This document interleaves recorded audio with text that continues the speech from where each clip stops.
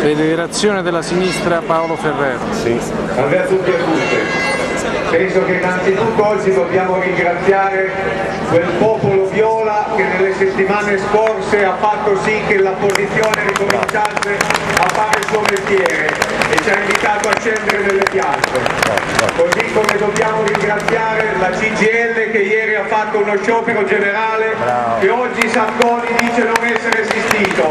Grazie alla CGL, grazie a quei lavoratori e quelle lavoratrici che sono scese in piazza. Lo dico perché penso che l'attacco alla democrazia avviene da questi ignobili decreti che riammettono le liste che non hanno diritto ad essere votate, ma avviene soprattutto sulle questioni del lavoro, su quell'attacco all'articolo 18 che è partito la settimana scorsa al Senato e di cui nessuno parla. Quest'idea, l'idea di questo governo è che bisogna abolire i contratti nazionali di lavoro, è l'idea che bisogna impedire ai lavoratori di fare rispettare i loro diritti anche col magistrato. Questo governo vuole che i lavoratori diventino dei servi e questo non glielo possiamo lasciar fare, perché questa è una logica antidemocratica da cui parte l'attacco alla democrazia. Così come l'altro attacco alla democrazia parte dalle questioni della scuola, quando si tagliano i fondi per la scuola, quando si diminuisce l'età dell'obbligo, quando si buttano in mezzo a una strada i precari, si sta dicendo che questo governo non ci vuole cittadini, ci vuole sudditi e ignoranti, perché pensa che gli ignoranti li può governare meglio come vogliono loro. E ci sono delle cose a cui ahimè ci siamo abituati anche noi, perché noi il 28 e il 29 andremo a votare per le elezioni regionali. Ci sono 3 milioni di immigrati che lavorano, che vivono assieme a noi tutti i giorni, che non votare. Questa qui è un vulnus per la democrazia, questo è un modo per distruggere la Repubblica nata dalla Resistenza. E allora io penso che la manifestazione che ci vede tutti assieme oggi qui, che vede tutti assieme voi, queste bandiere diverse, tutti assieme, non è solo per bloccare Berlusconi per che cosa vorrà fare, ma è per dire basta ad un governo che vuole togliere ogni vincolo al libero arbitrio di quelli ricchi e dei potenti e che vuole togliere i diritti per i lavoratori, per i più deboli. Questa è la roba fascista che sta facendo questo governo.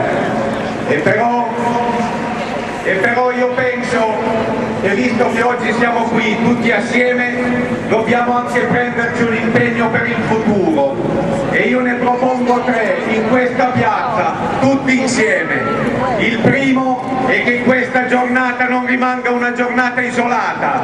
Non basta una protesta una tantum. Bisogna costruire un movimento di lotta unitario di tutte le opposizioni contro questo governo che si faccia in tutto il paese perché questo governo va cacciato e allora bisogna costruirlo nelle piazze, bisogna far sapere che cosa fanno, non basta una giornata sola. E la seconda cosa che vi propongo è che facciamo tutti assieme una grande campagna referendaria contro le leggi vergogna di questo governo, contro il nucleare, contro la privatizzazione dell'acqua, contro questa ignobile legge sul lavoro che vuole abolire l'articolo 18. Facciamole insieme tutte le opposizioni, una grande campagna referendaria, ricostruiamo quello che è un popolo della sinistra che faccia sentire la sua voce. E una terza cosa, è un impegno, prendiamo l'impegno oggi che al di là delle differenze che ci sono tra di noi, alle prossime elezioni si vada tutti insieme per battere Berlusconi, perché bisogna costruire la lotta, ma bisogna anche costruire una speranza in futuro.